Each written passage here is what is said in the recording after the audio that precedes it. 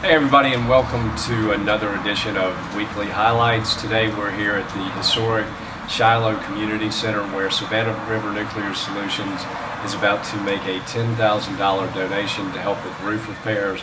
That's one of the great things I see about the community is there's a real spirit of civic mindedness.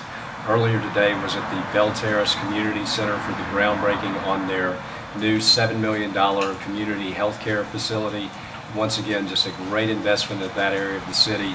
So we're seeing the great thing to me is progress in all areas of the city, from the Starbucks plant in the south, $172 million investment, to what's going on, the Walton Oaks on uh, on Sandbar Ferry Road, you know, another tens of million dollar investment. So it's just wonderful to watch these seeds being planted and growing.